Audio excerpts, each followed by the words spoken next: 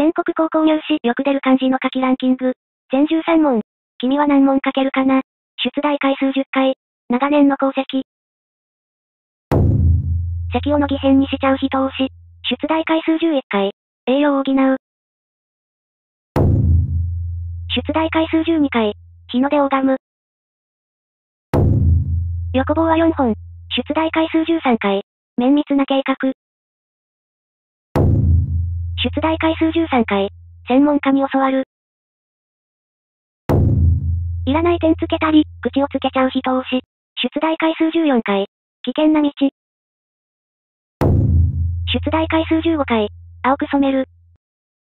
出題回数16回。家族と暮らす。出題回数18回。店を営む。読みで出て間違えた子も多い問題。出題回数19回。品物を預かる。出題回数19回。生活を支える。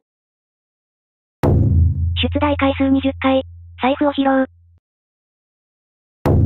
捨てるにする人をし。出題回数最多26回。手紙が届く。